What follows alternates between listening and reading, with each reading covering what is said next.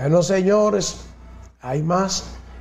Miren, yo siempre digo que las autoridades tienen que depurar bien, que depurar bien en todos los sentidos las personas que van a las instituciones públicas. Usted no puede nombrar una gente y después que está nombrado, averiguar quién es. Miren, nombraron un vigilante en el norte y no lo investigaron. No sabían quién era el vigilante. Vaya usted a ver. La Policía Nacional detuvo para fines de investigación al vigilante de la oficina de, de Norte en Santiago, que fue penetrada el martes por tres delincuentes.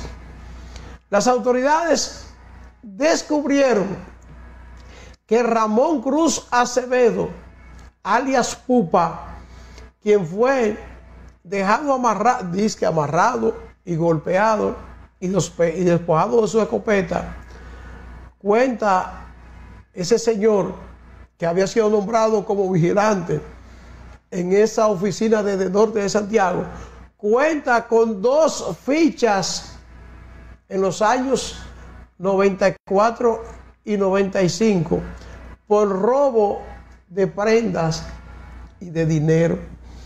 O sea, que un hombre que está fichado como ladrón en la policía fue el que pusieron de vigilante.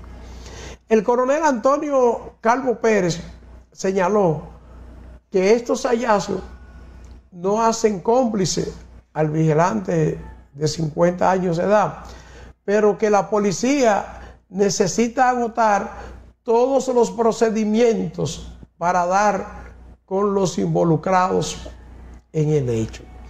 Tres personas penetraron la mañana del martes a la oficina de, Norte ubicada en la Plaza Olga de Santiago, amarraron al guardián de turno y cargaron con aproximadamente 138 mil pesos en efectivo.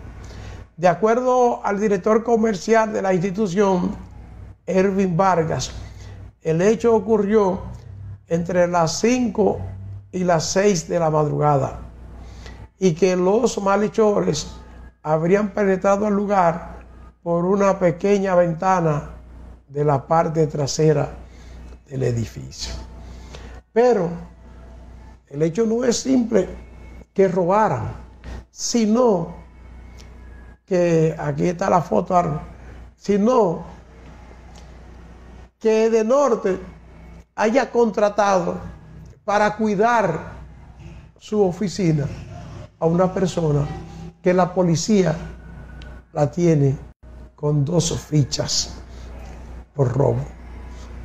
¿Dónde está la depuración y la investigación que se está haciendo para contratar a un personal como ese? ¿Dónde? Qué calamidad, señores. Vamos, Arno. Ya regresamos con más